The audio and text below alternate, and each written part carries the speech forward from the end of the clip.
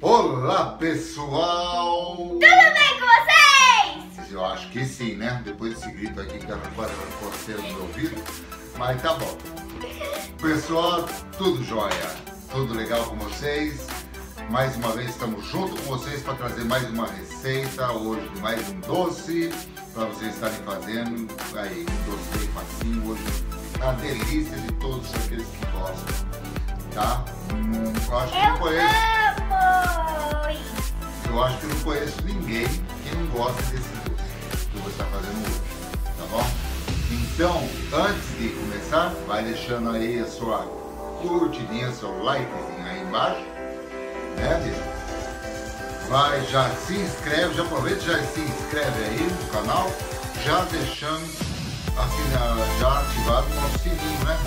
Para estar recebendo as notificações, tá bom? E não esqueça de deixar os seus comentários, logo depois do vídeo.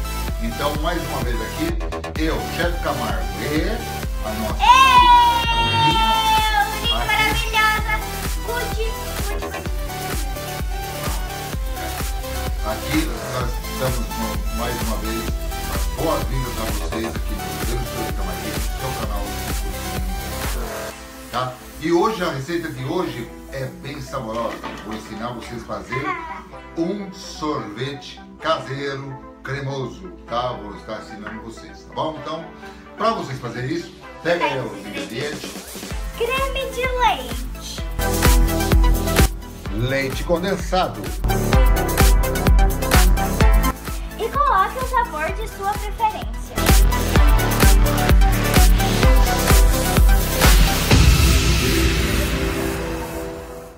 Aí pessoal, estamos de volta. Então, quem já pegou ingredientes, é pouquinho, você viu? Somente três ingredientes desse sorvete. É bem fácil. Se não pegou, pelo amor de Deus, hein? Mas tá aí embaixo, aí na descrição do nosso vídeo tem. E no final também vai ter, tá bom? Então vamos lá. O que vocês vão usar? Tá aqui. Nosso Creme de creme de leite. leite.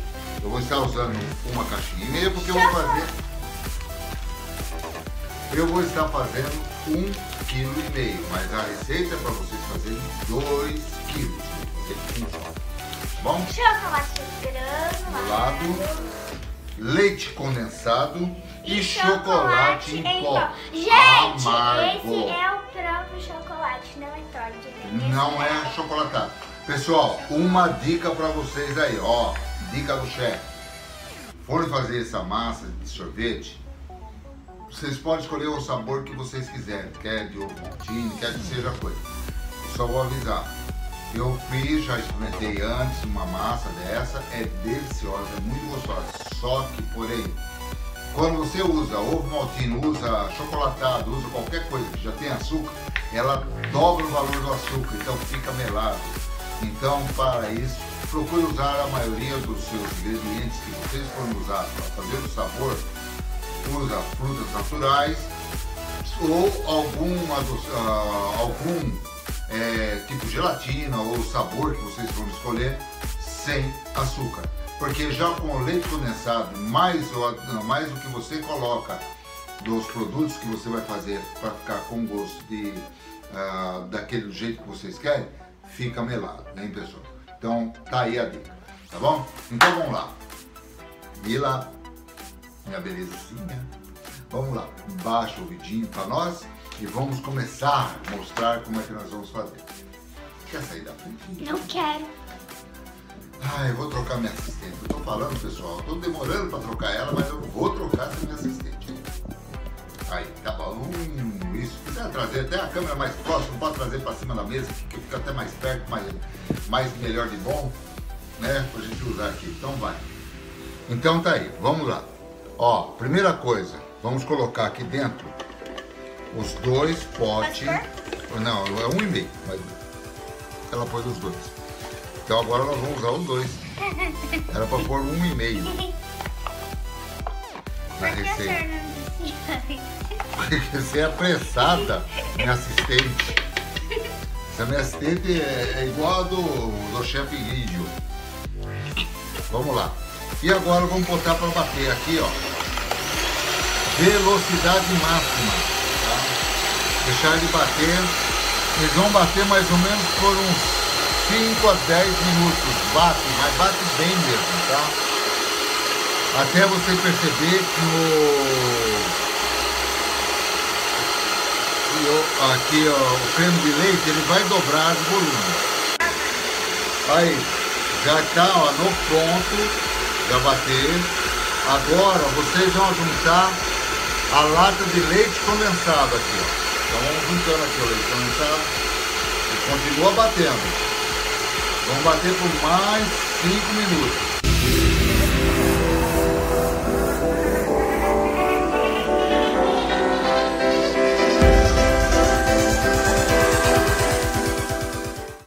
Aí, já está no ponto. Já, já foi mais 5 minutos. Agora nós vamos pôr o chocolate. A Camila vai rodando aqui para mim, eu vou pôr o chocolate devagar. Como o nosso chocolate é em pó, já pode pôr direto na máquina. Se for tiver alguma coisa de granulação, desliga tudo, daí nós vamos, eu vou mostrar para vocês depois com o chocolate granulado. Então vamos lá. Roda aí. Então vai tudo no pó mesmo. Tá rodando.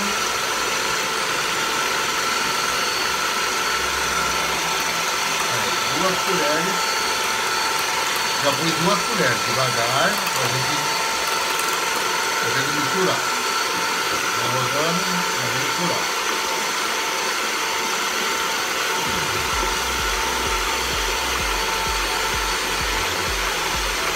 Pode pôr mais uma colher aqui.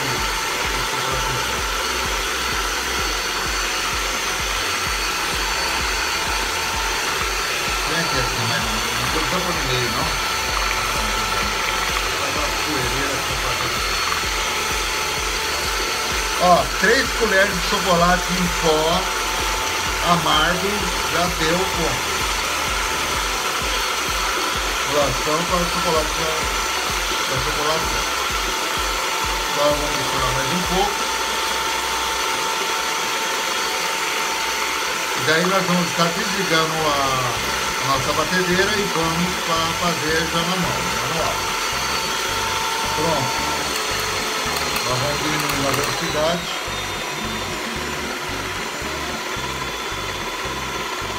A batedeira. E até nós pararmos a batedeira.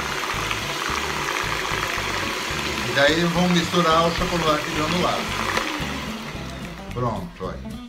Agora aqui, solta isso daí, menino. Você não vai comer agora. Agora nós vamos adicionar aqui o nosso chocolate granulado. Tá? Pode deixar agora que eu adjunto, deixa eu fazer. Você só põe para mim o chocolate. Tá? Deixa eu dar uma, mais uma abertura aqui nesse pacotinho, que ele está um pouco fechado.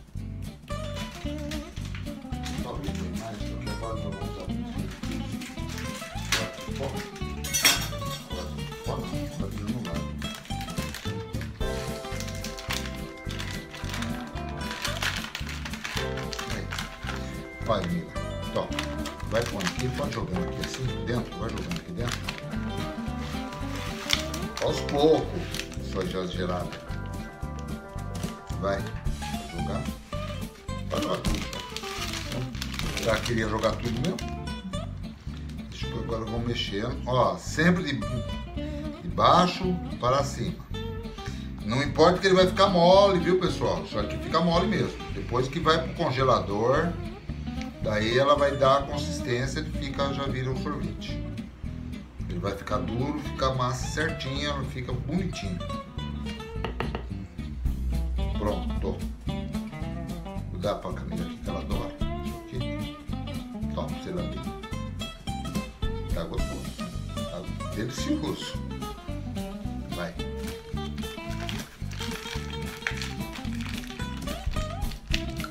Eu tô falando. Agora, aí, nós temos a nossa vasilhinha aqui, própria já para sorvete, né? Que é pra... Essa aqui é para acho que é 2 quilos, essa daqui deve ser. Mas nós vamos fazer.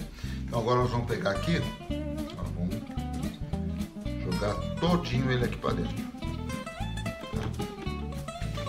Agora você já lambeu bem aí, dá aqui para mim que eu tenho que lavar isso daí, porque eu vou precisar usar, porque eu vou raspar com a colher, porque a colher não vai dar certo. Vou raspar aqui dentro.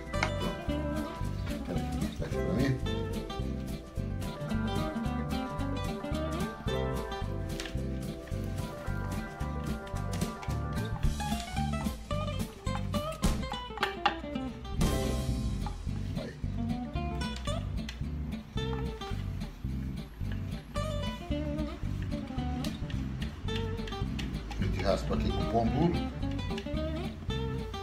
Pronto.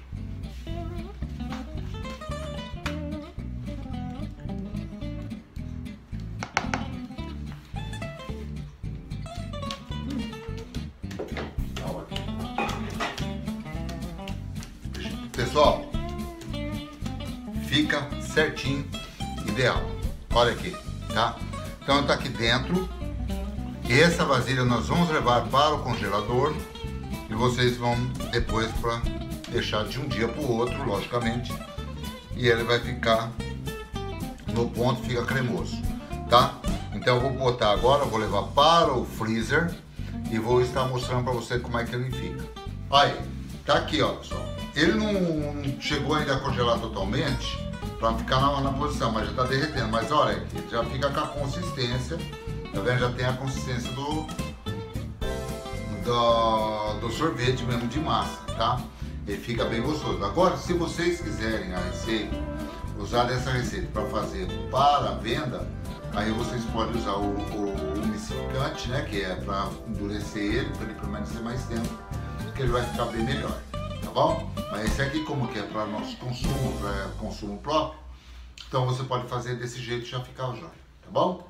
Então, vamos lá pro teste? Hum. Maravilhoso! Não dá tempo. Ó. Delicioso. Muito bom mesmo. Então, tá aí.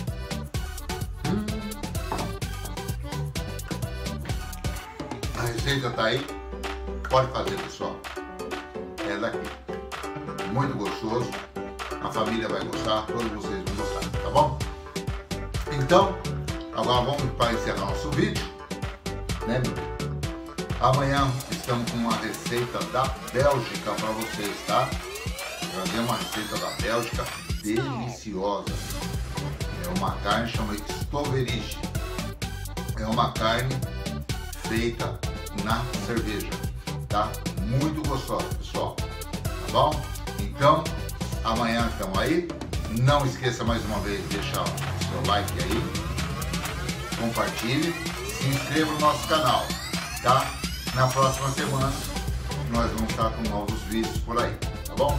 Vamos estar trazendo. Então, pessoal, um beijo no coração de todos vocês. Até amanhã. Tchau, pessoal. Tchau.